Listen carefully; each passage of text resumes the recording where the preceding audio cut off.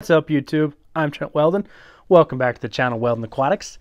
Tonight we are talking about worms. You heard me correct. We are talking about worms. We are going to go over how to culture micro worms, which I think is a great live food for smaller fish, guppies, bettas. Honestly, even my larger fish will go after them sometimes.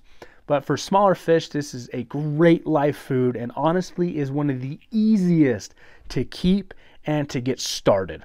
Really, the only like the main thing you need to get started is a culture or even a starter culture from somebody else. And they're super cheap, easy to find. I was able to find mine from a local gentleman, and he has some great information on how to culture these. So to get started, you need a container whatever container you want to put them in. I know people use cottage cheese containers. I like these uh, Ziploc containers or Rubbermaid containers I found at my local grocery store. I like smooth edges, and I personally like clear containers so I can see what's going on. Now you can either use old-fashioned oats or instant mashed potatoes. I know that sounds weird, but you need something to feed the worms with, as also to kind of give them a bedding to you know breed in and populate in. Um, I've never done the instant mashed potatoes. My starter culture came using oats, so I just continue to use oats. And if you're going to do the oats, you cook them following the directions. It is simple as that. Uh, I do add some extra. I like the oat mixture to be a little more thick, uh, not runny, as that I want to give a good foundation for the worms to bed in, populate in, and not have any concern about that. Uh, talking with Michael from Bay Area Aquatics, he has cultured worms in both oats and mashed potatoes. Uh, I know Wild Fish Tanks has a video about culturing these in mashed potatoes. They both say that the mashed potatoes smell a little bit less than the oats do. Uh, personally, it's not a terrible smell to me. Uh, I mean, it depends on who you ask, right? I like fish. If I could have a massive fish room, I would. So if you have these in an area where they're not going to bother anybody, they're not going to smell them. And once you get the lid on too, nobody can smell them. So I don't think they're that bad. Now, if you ask my wife, they're the worst smelling things in the world and probably ultimately creeps her out because let's be honest, they're worms. They are moving, they're alive, they're worms. So I say, uh, for the oats purpose, you cook them as normal. Um, I think I've used uh, for the main one, it's like a cup of oats. Like I'm actually going to cook like a full cup. You following the instructions for the containers I chose. I did a little bit more on these ones, and I haven't seen a side effect from it. But so it, I would recommend between one cup to two cups, depending on your size of container, whatever you want to do it. And like I said, I add a little bit extra oats because I do want this to be a thicker mixture.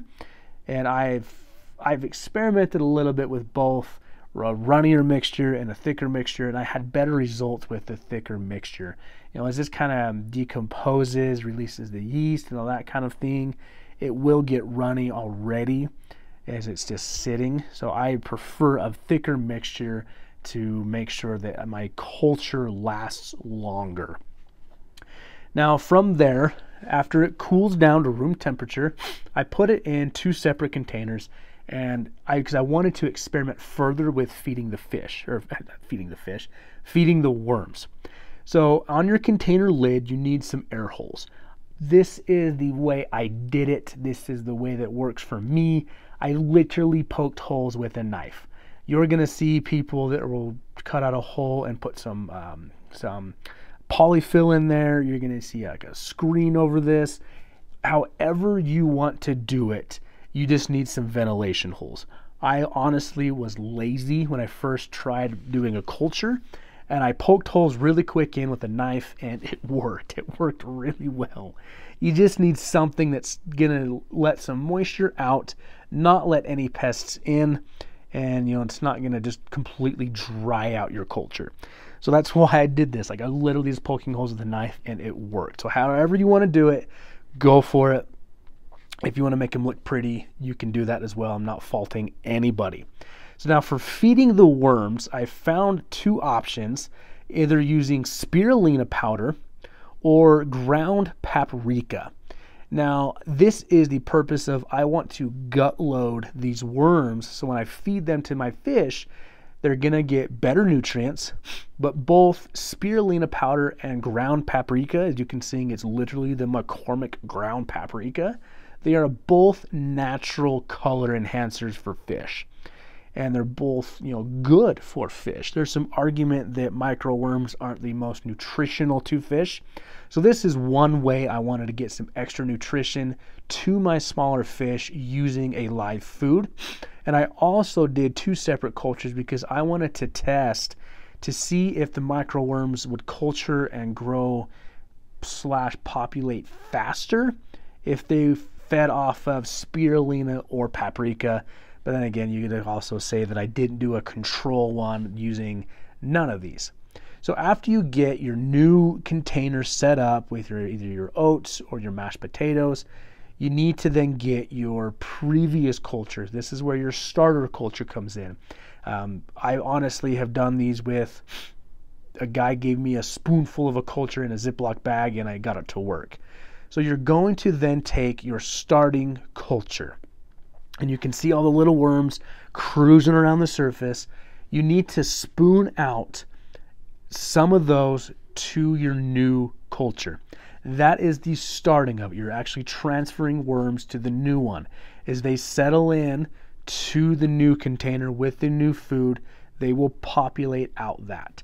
Uh, cultures generally last anywhere from one to three weeks, probably depending on how humid you have it, what temperature they're kept at. And you know, mine are literally kept around 75 degrees just because that's the room they're sitting in. So from this starter culture, I used half and half about to each new culture. I spread it out quite a bit. I wanted to jumpstart these really well. Um, with this one starter culture, I probably could have started six new cultures with no issues. And you'll be surprised at how often you can actually feed out of these cultures. You'll know they're populated when you'll see all the worms crawl up on the side of your container. And that's the simplest way to feed as well. I will swipe my finger around the edge of the container, collect a bunch of worms, dunk it in the water, swish it around, and you have fed your fish from your micro worms. It's a very simple process, and I've actually seen good results now using both spirulina and paprika. So it's something new, something different, and honestly, you close them up and you're on your way. So thank you everybody for joining me. I hope this helps.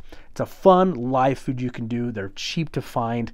And I'll leave some links down in the description below of where you can buy paprika, spirulina powder, as well as links to other videos uh, from both wild fish tanks and Bay Area Aquatics to test out how they did their microworm cultures. And like I say, now it's very easy project. And about five to seven days later, you will have a large culture you can feed from. So good luck to you. Thank you for joining me, and we will see you guys in the next one.